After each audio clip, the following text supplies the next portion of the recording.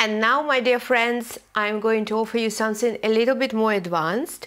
But if you have been doing my previous little exercises, you may be able to do this one. So before you do it, remember, we're lifting the toes, putting them down. You can spread them and put them down. We're lifting the heels, putting them down. That engages our inner legs. Then we engage in our abdomen. Then we put our shoulders back and down.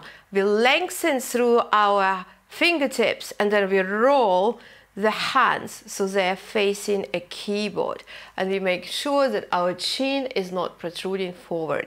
So this is our uh, initial position and this uh, uh, kind of little uh, routine I advise to do all the pianists and it was published in my piano yoga book and this is how I think we can find our ideal sitting position uh, whether you we sit higher or lower. These are the main principle. Grounding abdominals shoulders and release neck. So here is the new little routine for you.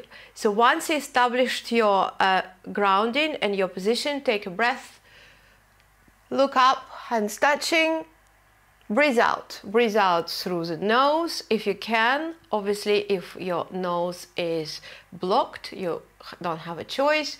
You breathe out through the mouth. Again breathe in again and then breathe out. And when you breathe out you look straight or you can look down if you want.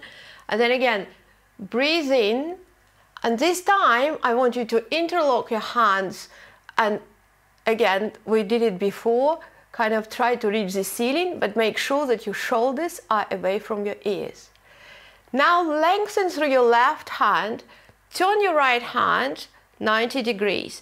Now bend it and bring it, I'll show you, behind your back and then interlace the hands. You can like that and sit and breathe.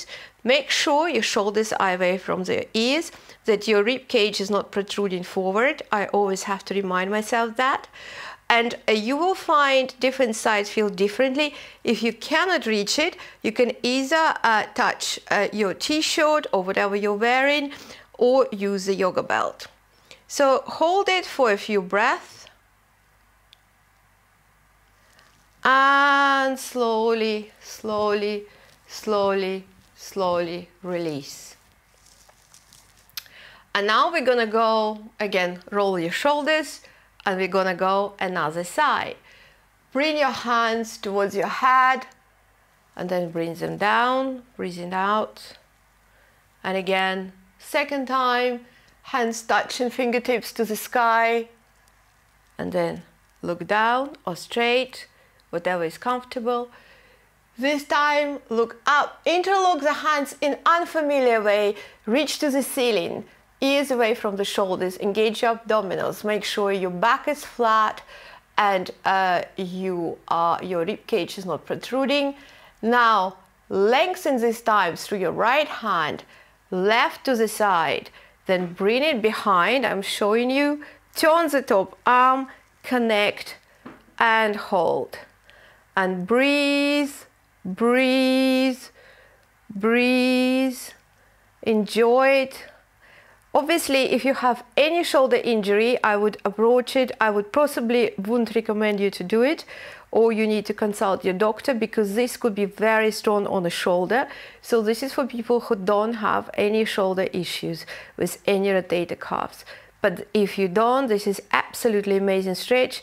And again, if you're a sound engineer, please don't uh, be shy, try that as well, producer or mixer, because that will again massively release your upper back. I feel amazing and I hope that so do you.